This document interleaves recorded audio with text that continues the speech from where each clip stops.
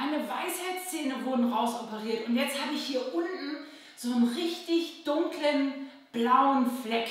Woher kommt das? Und vor allem, was kann ich dagegen tun, damit der schnell wieder verschwindet? Mein Name ist Andrea Jakob und ich bin seit mehr als 20 Jahren Zahnärztin und auch Fachzahnärztin für Oralchirurgie. Ja, diese Frage wurde mir jetzt des Häufigen unter den YouTube-Videos einfach gestellt und du siehst, es ist das neue Thema für das nächste Video geworden. Deswegen, wenn du einfach eine spannende Frage hast, die dir auf dem Herzen einfach brennt, schreib die unter meine YouTube-Videos. Ich versuche wirklich alle Kommentare zu lesen und vielleicht bist du mein nächstes Thema. So, aber zurück zum Thema. Warum ist da jetzt so ein blauer Fleck und vor allen Dingen ist das schlimm? Wie wirst du das wieder los? Dazu lässt sich Folgendes sagen. Du kannst das so ein bisschen vergleichen, als wenn du dich extrem irgendwo gestoßen hast. Ja? Dieser blaue Fleck ist einfach ein Hämatom. Das ist eingeblutet letztendlich in dein Bindegewebe. Hier, ja, letztendlich hier so ein bisschen, wo deine Wange ist. Und ich versuche das jetzt mal so ein bisschen für dich auseinander zu klamüsern. Wo ist das eher? Bei wem passiert das eher? Und da ist auch schon eine erste Einteilung.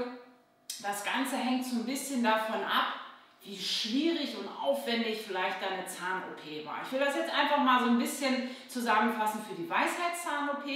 Und da kannst du zum Beispiel immer sagen, im Unterkiefer, wenn geschnitten und gebohrt werden musste, ist meistens der Eingriff so ein bisschen schwieriger als im Oberkiefer. Woran liegt das? Schau, der Unterkiefer an sich hat einfach eine viel härtere Knochenstruktur. Das heißt, wenn wir Weisheitszähne zum Beispiel rausbohren müssen, fräsen, wie es auch heißt, dann ist es einfach so, dass der Knochen viel mehr manipuliert werden musste und dadurch gibt es einfach eine stärkere Blutung. Und da siehst du schon, je nachdem, wie lange vielleicht auch ein Eingriff geht, wie schwierig, wie schräg, wie tief dein Zahn einfach im Knochen verbuddelt war, ja, desto aufwendiger ist es natürlich für uns Chirurgen oder Oralchirurgen, Zahnärzte, den ganzen da letztendlich aus diesem Knochen rauszufräsen, desto länger bluten einfach Gefäße und auch die Knochenstrukturen. Kurzes Break, ich habe eine Bitte an dich. Wenn du mich unterstützen möchtest, weil du etwas von mir lernen konntest, profitieren konntest von meinen Videos, dann würde ich mich total freuen, wenn du die Videos einfach mit Family und Friends teilen würdest, meine Videos liken und kommentieren würdest und mir auch gerne ein Abo schenkst, weil dann werde ich einfach bei YouTube noch besser in die Sichtbarkeit rutschen. Wir können gemeinsam wachsen und mehr Menschen können davon profitieren. Weiter geht's. Und jetzt geht das Blut einfach auch so ein bisschen in dein Bindegewebe. Und da kommen wir zu der nächsten Klassifizierung letztendlich. Wir Frauen neigen einfach eher dazu, dass es einblutet und dass es dann halt auch außen sichtbar wird, weil wir einfach ein lockeres und weniger Bindegewebe haben.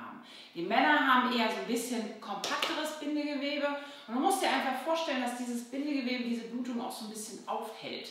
Ja? Und ähm, es gibt natürlich noch den Grund einfach von Blutverdünnern. Aber ich hoffe, dass viele von euch jetzt im jungen Alter da noch keine Medikamente nehmen müssen. Es gibt diese Menschen, die da auch schon Blutverdünner nehmen müssen, die natürlich einfach dann auch vor der OP richtig eingestellt werden müssen. Aber natürlich gibt es immer auch noch so Langzeitwirkungen. Das heißt, die Tendenz ist natürlich schon da, dass solche Menschen einfach stärker und länger bluten. So, jetzt bin ich für dich einfach tatsächlich auch mal durch YouTube einfach so durchgejagt und habe mir einfach mal so angehört, was empfohlen wird dagegen zu machen.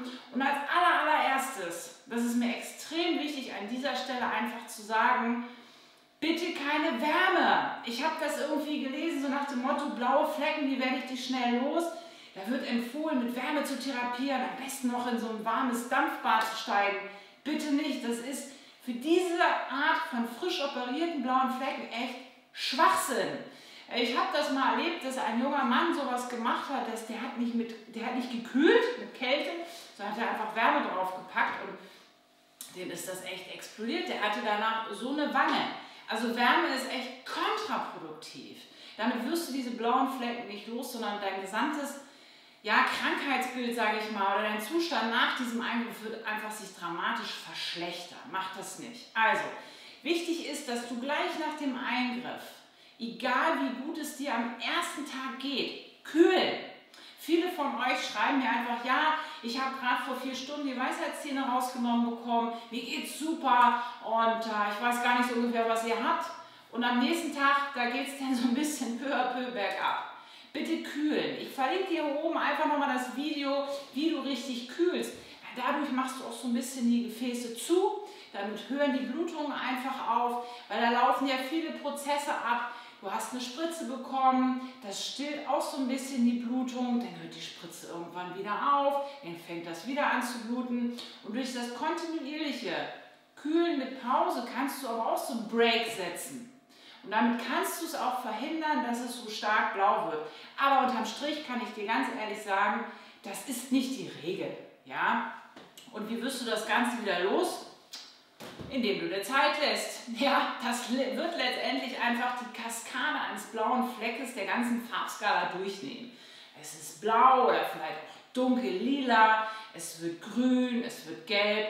Und wenn es dich wirklich extrem stört, dann zieh vielleicht etwas Höheres an. Aber in der Regel denke ich mal, das ist eine Sache, die vor allen Dingen über Tage ganz schnell abgebaut wird. Das ist auch nochmal so, so, so ein Tipp, dass du einfach einschätzt, dass es über die nächsten Tage sich einfach verändern sollte. Wenn du jetzt irgendwie 14 Tage so einen richtig schwarzen, dunkelblauen Fleck da hast, dann solltest du schon nochmal zum Arzt gehen und das Ganze kontrollieren lassen, aber das ist mega selten. Das soll es gewesen sein. Ich wollte dir einfach eine Einschätzung geben. Blauer Fleck, ist das schlimm? Nein. Was kannst du dagegen tun? Du kannst vorher kühlen, nicht so viel sabbeln, nicht so viel Bewegung darauf geben und dann musst du deinem Körper einfach Zeit lassen zu heilen. Der Körper baut diesen blauen Fleck ganz von alleine ab. Ansonsten freue ich mich, dass du dabei warst, dir die Zeit genommen hast. Schreib mir gerne mal einen Kommentar unter das Video, ob du selber einen blauen Fleck hattest, wie das Ganze für dich so abgelaufen ist. Und ich freue mich, dich im nächsten Video schon begrüßen zu dürfen, denn du weißt ja, jeden Mittwoch, jeden Sonntag 18 Uhr auf meinem Kanal. Ciao!